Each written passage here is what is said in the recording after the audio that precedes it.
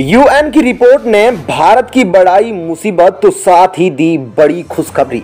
2023 में यूएनएससी का स्थायी सदस्य बनेगा भारत। भारत होगा वीटो का प्रमुख दावेदार। नमस्कार प्लेनेट फोर पर दोस्तों आपका स्वागत है। दोस्तों, हाल ही में यूएन की एक रिपोर्ट आई है। इस रिपोर्ट के बाद बवाल फूट गया है। दरअसल दोस्तों यूएन की ओर से आई इस रिपोर्ट में भारत के लिए दो बड़ी खबरें निकलकर सामने आई है। जिसमें एक पॉजिटिव है तो दूसरी नेगेटिव भी है। आपको बताएँगे कि आखिर नेगेटिव क्यों है और पॉजिटिव क्यों है। दोस्तों, आपको मालूम है कि भारत यूएन के अंदर स्थायी सदस्य बनने के लिए हर कोशिश कर रहा है, लेकिन चीन बार बार अड़ंगा डाल रहा है।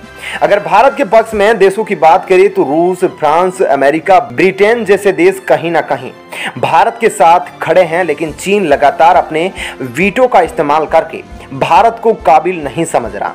लेकिन दोस्तों, अब भारत के लिए उसी यूएन से बड़ी खबर सामने आई है, जिसने चीन की मुसीबत को बढ़ा दी है। साथ ही भारत अब चीन को पछाड़कर नंबर वन की पोजीशन पर आने वाला है। और दोस्तों, ये पोजीशन चीन पर इतनी भारी पड़ने वाली है कि चीन के सारे पैंतरे फेल हो जाएँगे। तो ये जानेंगे कि आखिर भारत जो नंबर वन की पोजीशन हासिल करेगा, वह उसको घातक साबित होगी या फिर फ़ायदेमंद। दरअसल दोस्तों, यूएन से एक रिपोर्ट आई है, जिसके मुताबिक साल 2023 तक जनसंख्या के मामले के अंदर चीन को पछाड़कर भारत नंबर वन की पोजीशन हासिल करेगा। अब दोस्तों, यूएन से जो ये बात आई है, उसके बाद देश के अंदर योगी आदित्यनाथ का बड़ा बयान भी आया, जिसे अब एक मज़हब से जोड़कर देश के अंदर बहस छिड़ गई है। लेकिन उसके साथ साथ दोस्तों, अगर भारत की जनसंख्या बढ़ती है तो भारत के लिए कई खतरे पैदा हो सकते हैं। भारत को रोज़गार के क्षेत्र में समस्या हो सकती है, शिक्षा के क्षेत्र में या फिर चीज़ों की आपूर्ति के मामले में भारत को लड़ना पड़ सकता है, मुश्किलों का सामना करना पड़ सकता है। अगर भारत की जनसंख्या इस कदर लगातार बढ़ती चली गई तो फिर अर्थव्यवस्था में तेज़ी लाने में भारत को दिक्कतों का सामना करना पड़ सकता है। दोस्तों, जनसंख्या वृद्धि के कई नुकसान हैं, जिसके बारे में एक डिटेल वीडियो में बताया जाए तो भी नाकाफी है। लेकिन भारत को इस खबर के साथ साथ जो खुशखबरी मिली है, वह काबिले तारीफ़ है और हमें गर्व महसूस कराएगी। दरअसल, संयुक्त राष्ट्र के एक प्रमुख अधिकारी ने कहा है कि चीन को अगले साल तक पछाड़कर विश्व का सर्वाधिक जनसंख्या वाला देश बन जाने पर संयुक्त राष्ट्र सुरक्षा परिषद की स्थायी सदस्यता के लिए भारत का दावा और मज़बूत हो जाएगा और 2023 में भारत इस दावे के तहत स्थायी सदस्य भी बन सकता है। अब दोस्तों, आपको डिटेल में जानकारी देंगे कि आखिर रिपोर्ट में और क्या कुछ कहा गया है। और आपके अंदर जो भी सवाल पैदा हो रहे हैं कि आखिर भारत को वीटो क्यों मिलेगा? क्यों भारत स्थायी सदस्य बनने वाला है? आखिर किसने ये बात बोली है? ये तमाम जानकारी आपको देंगे, ताकि आपको आपके सवालों के जवाब मिल जाए। और आखिर, भारत के लिए यह पॉजिटिव क्यों खबर है? यह भी आपको जानने को मिल जाएगी। इस खबर का नेगेटिव पहलू तो आपने जान लिया कि जनसंख्या वृद्धि की वजह से भारत को कई नुकसान हो सकते हैं।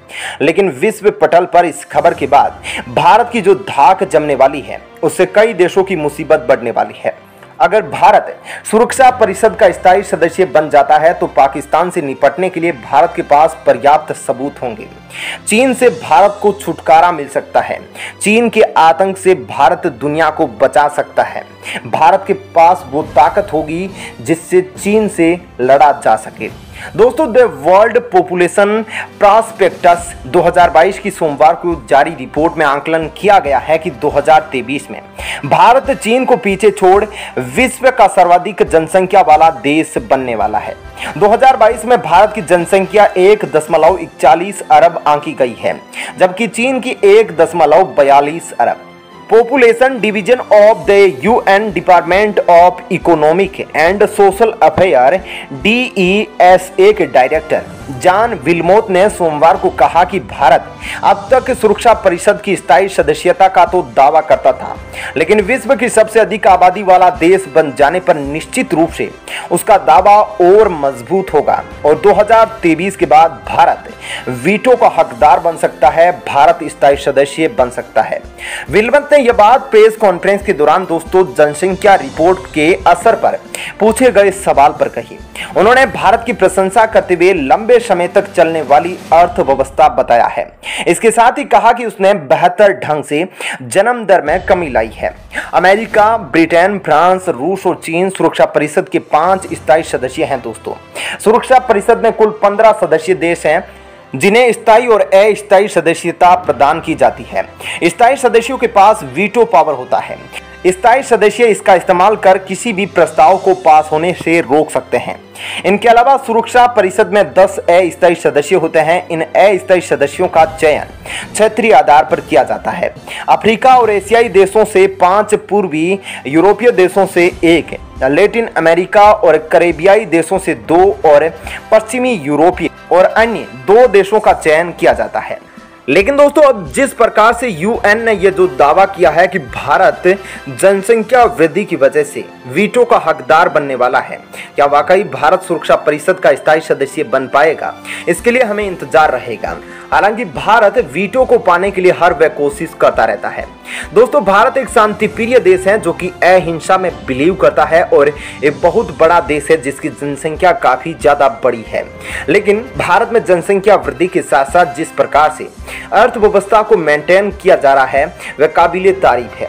दोस्तों, भारत मदद हर जरूरतमंद देश की भी करता है, जिसमें चाहे अफ्रीका के गरीब देश हो या फिर कोरोना के टाइम भारत की मदद हो, या फिर संकट ग्रस्त अफ़गानिस्तान और श्रीलंका जैसे देशों की मदद। ऐसे कई उदाहरण हैं जिनका बखान हम कर सकते हैं। ऐसे में दोस्तों, क्या कहना है आपका? अगर भारत को वीटो मिल जाएगी तो फिर चीन के लिए कितनी मुसीबत बढ़ने वाली है? इस पर अपनी टिप्पणी ज़रूर कीजिएगा। धन्यवाद।